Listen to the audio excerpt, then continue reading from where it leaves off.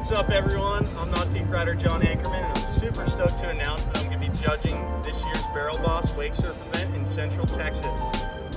You're going to submit 60 second continuous video of you surfing and I'm going to be your judge and I'm also going to pick out a standout run to feature on my social media platforms and what I'm going to be looking for is style, difficulty, and execution. Don't forget to have fun. Your videos by October 31st, and we're gonna release the winner on November 7th.